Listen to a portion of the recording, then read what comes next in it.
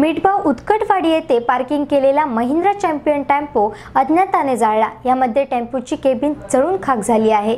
या आगीत टेम्पोचे सुमारे साठ हजाराचे नुकसान झाले आहे.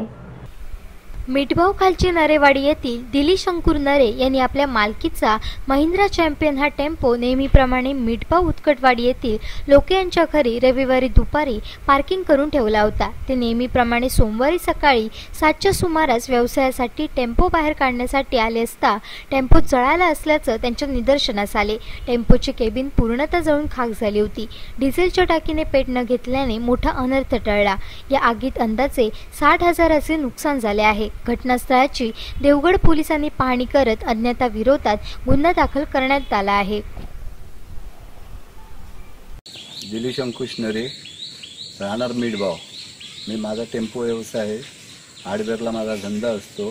काल मी दुपारी एक वाजता भाडं मारून आणून टेम्पो इथे नेहमीप्रमाणे ह्याच जागेवर आतापर्यंत उभा करतो. तिथे उभा केला आणि मी घरी गेलो. सकाळी मी धंद्यानिमित्त आलो.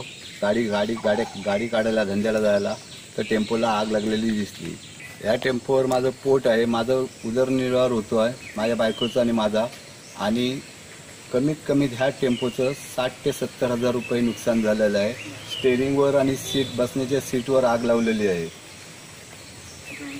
जवळ जवळ पुरा टेम्पो आग झालेला आहे पुरी कॅबिन काही शिल्लक राहिलेलं नाही. दहाच्या नंतर झालेलं आहे दहा साडे दहाच्या नंतर.